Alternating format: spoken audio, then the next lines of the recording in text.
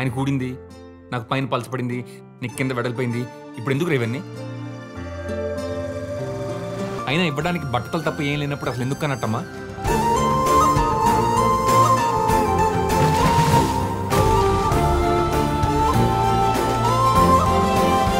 నూటొక్క జిల్లాల అందగాడు ఈ నెల ఇరవై ఏడు ఆదివారం సాయంత్రం ఆరు గంటల ముప్పై నిమిషాలకు మీ ఈటీవీలో.